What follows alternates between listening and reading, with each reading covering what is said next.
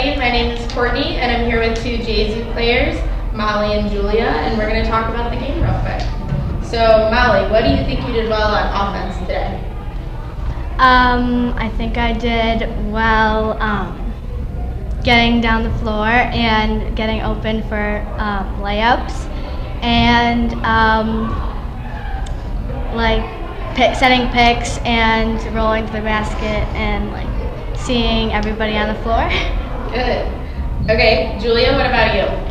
Um, I think I did well passing the ball in to looking up for people who are open. Awesome. All right, Molly, talk to me a little bit about defense now. What kind of defense did you guys run? What do you think you did well?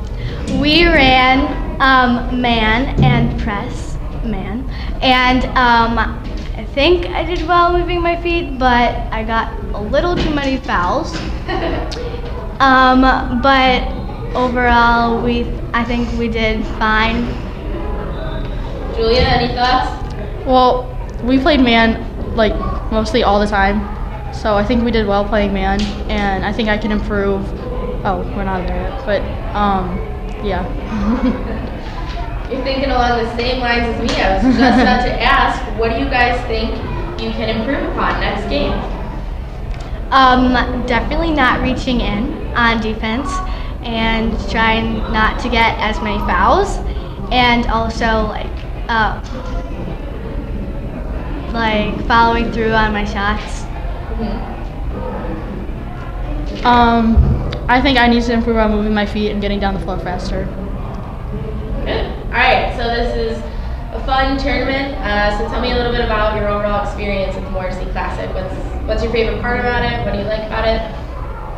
Molly? Um, I love how like you can just go like from gym to gym and like see your friends and talk and like, but it's still fun and the concession stand's good and um, the competition's great. Yeah. These are all important factors. Okay, Julia?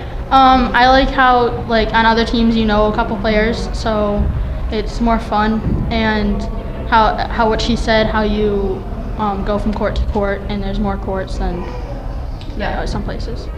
Awesome. All right, well, thanks, guys. Thank Good you. game. Thank you.